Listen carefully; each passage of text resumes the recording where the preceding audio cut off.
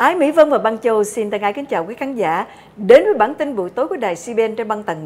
18.14 với một số tin đáng chú ý như sau.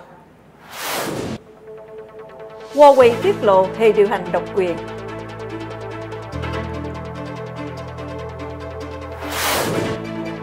Ấn Độ nới lỏng kiểm soát đối với các tín đồ Hồi giáo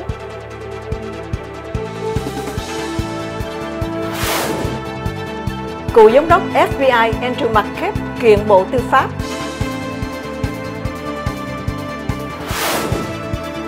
Có hay không mạng xã hội Việt Trung Weibo ở Việt Nam? Và bây giờ, Ái Mỹ Vân sẽ đến với bản tin đầu tiên trong phần tin thế giới.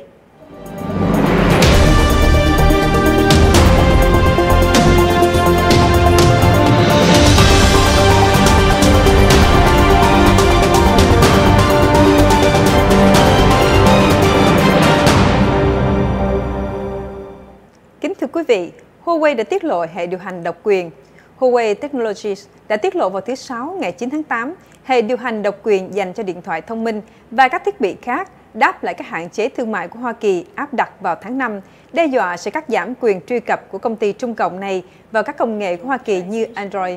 Nhưng Huawei đã cho biết hiện tại họ sẽ vẫn sử dụng Android của Google cho điện thoại thông minh và phần mềm mới sẽ dần được triển khai để hỗ trợ các thiết bị như smartwatch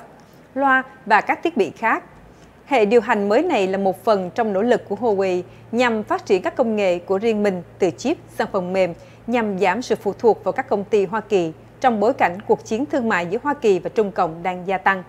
Trước đó, chính quyền của Tổng thống Hoa Kỳ Donald Trump đã cảnh báo rằng Huawei có thể là một phương tiện cho hoạt động gián điệp của Trung Cộng và đưa công ty vào cái gọi là danh sách phải xin phép.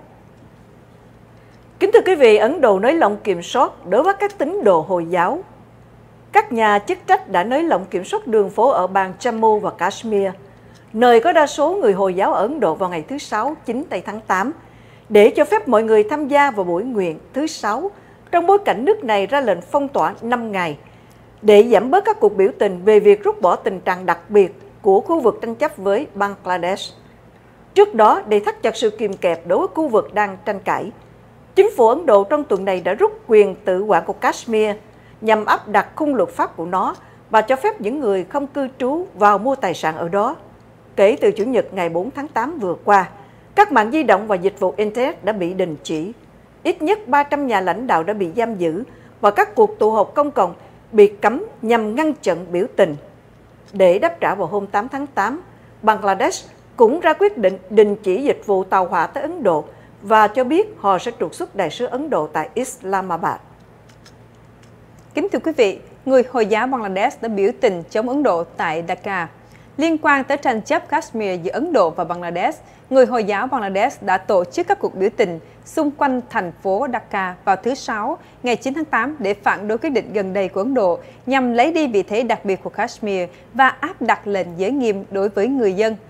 tập hợp bên ngoài nhà thờ Hồi giáo quốc gia Baitul Mukarram ở thủ đô sau những lời cầu nguyện vào thứ Sáu. Các nhà hoạt động do Hội đồng Đoàn kết Hô vang Kashmir và dương cao biểu ngữ chống lại chính phủ của Thủ tướng Ấn Độ Narendra Modi, kêu gọi tự do ở Kashmir. Những người tham gia cho biết quyết định của Ấn Độ có khả năng khuyến khích các phong trào giải phóng trên khắp Ấn Độ và cả phong trào phản đối sự đàn áp đối với người Hồi giáo ở Kashmir. Cảnh sát Malaysia nói rằng không tìm thấy dấu chân cô gái người Ireland mất tích. Cảnh sát tìm kiếm một cô gái trẻ gốc người Ireland mất tích khỏi một khu nghỉ mát ở Malaysia trong tuần này cho biết vào hôm thứ Sáu 9 tháng 8 rằng không tìm thấy dấu chân của cô gái mất tích. Nora Ann Quiring, 15 tuổi được thông báo mất tích vào Chủ nhật, một ngày sau khi gia đình của cô đến khu nghỉ dưỡng Dusun ở Seremban, là một thị trấn cách thủ đô Kuala Lumpur của Malaysia khoảng 70 km về phía nam.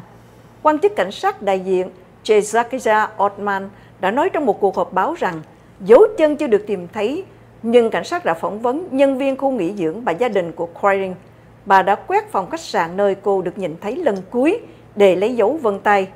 Hiện nay cơ quan chức năng địa phương đang triển khai hai phi cơ không người lái để tìm kiếm trên diện tích là 6 km vuông xung quanh khu nghỉ mát vốn nằm cạnh một khu bảo tồn rừng. Kính thưa quý vị, lãnh đạo Malaysia, Brunei và Indonesia đã tham dự lễ kỷ niệm 54 năm quốc khánh của Singapore. Các nhà lãnh đạo từ Brunei, Malaysia và Indonesia đã tham dự lễ kỷ niệm 54 năm ngày quốc khánh của Singapore vào thứ Sáu ngày 9 tháng 8 và lễ kỷ niệm năm nay được tổ chức cùng với các kỷ niệm 3 năm về sự xuất hiện của người sáng lập Singapore hiện đại, ngài Stamford Raffles. Các nhà lãnh đạo từ ba quốc gia láng giềng của Singapore, quốc vương Brunei, ông Hassanal Bolkiah, Thủ tướng Malaysia Mahathir Mohamad và Tổng thống Indonesia Joko Widodo đã đến quốc đảo này trước đó trong ngày để tham gia kỳ lễ kỷ niệm tại địa danh của thành phố mang tên Pandang. Singapore đã giành được độc lập từ Malaysia vào năm 1965 và từ đó tới nay, đất nước nhỏ bé này đã phát triển mạnh mẽ và trở thành một trong các quốc gia thịnh vượng nhất trên thế giới. Trung Cộng đón siêu bão Likima. Văn phòng thời tiết của Trung Cộng đã đưa ra một báo động đỏ vào đầu ngày thứ Sáu 9 tháng 8 khi siêu bão Likima tiếp cận tỉnh Chiết Giang ở bờ biển phía đông sau khi giới chức địa phương Đài Loan buộc phải hủy các chuyến bay và đóng cửa các thị trường cùng doanh nghiệp trên đảo. Trung tâm Khí tượng Quốc gia Trung Cộng, gọi tắt là NMC cho biết đây là cơn bão mạnh nhất kể từ năm 2014. Dự kiến rằng nó sẽ đổ bộ vào đất liền ngày thứ Bảy và sau đó quay về hướng Bắc. Cơ quan đã đưa ra cảnh báo cho khu vực đồng bằng sông Dương Tử, bao gồm thành phố Thượng Hải. Hơn 300 chuyến bay đến và đi từ Đài Loan đã bị hủy và các hãng tàu đã được yêu cầu trì hoãn việc du hành đến Thượng Hải. Phi trường Ninh Ba cũng đã hủy 45 chuyến bay nội địa vào ngày thứ Sáu. Mưa lớn và gió bão cấp 10 dự kiến sẽ tấn công Thượng Hải vào thứ Sáu và tiếp tục kéo dài cho đến Chủ nhật với 16.000 cư dân ngoại ô chuẩn bị phải sơ tán. Kính thưa quý vị và bây giờ mong quý vị vẫn nhân viên băng tầng 18.14, Ám Y Vân và xứng viên Băng Châu sẽ quay lại với một vài thông tin thương mại bảo trợ cho đài.